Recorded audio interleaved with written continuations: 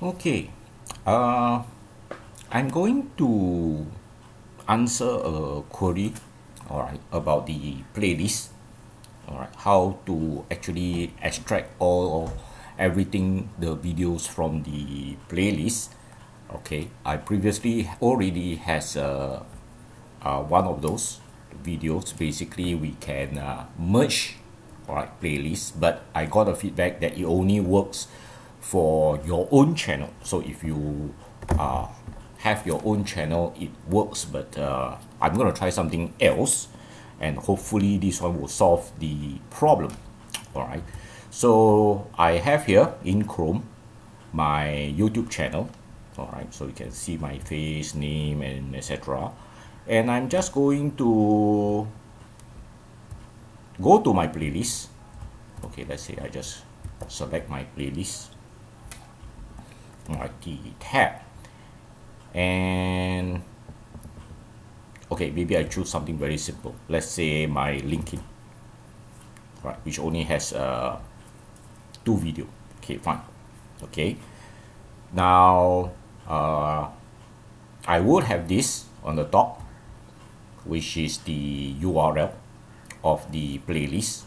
Okay the entire URL of the playlist okay uh, is unique to every single playlist so I'm just gonna copy this. And I found this little website uh, by William Spot he's a web developer. And part of his website have this section which is supposed to be able to backup the YouTube playlist. So while it works previously let's just paste this in. Alright and I will submit this. Okay let me just submit this. Okay so it, it comes down as a XLS uh, actually it comes down as a XLS uh, file. Look at that. Right which is the Excel spreadsheet. Okay so I'm gonna open this because I already have Excel spreadsheet in my machine okay it's a bit slow. Oh right. Okay. And I should have oh okay. Alright uh, there's a warning message but I don't care about it. So he asked me do you want to open it anywhere?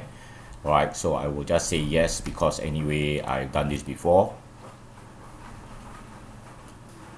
and okay I have the publish date I have the URL which is the one that I want is from my channel title and description. Okay so it seems like it is actually uh, working. So how to display the open work uh, make money okay uh, okay stuff like this. All right uh, I'm not going to save this. Right so it does work the export does work on my own channel. Okay so that's one thing. Uh, this is another YouTube but this is not mine. Uh, this belong to another person. Okay called bug bounty POC POC usually is a short form for proof of concept. Uh, they are using some of my old uh, WebGoat video right? Uh, anyway just to make it concrete I'm not going to create I'm not going to use my video uh, on another playlist that belongs to someone else. But I'm gonna use a video a small one. This is the uh, DVWA we already seen this inside the classroom. So I'm gonna view this playlist so I can actually view other people's playlists and again uh, although I don't own the channel or the playlist I can still see the ID on the top. And I'm gonna do the same but remember this time I don't own it.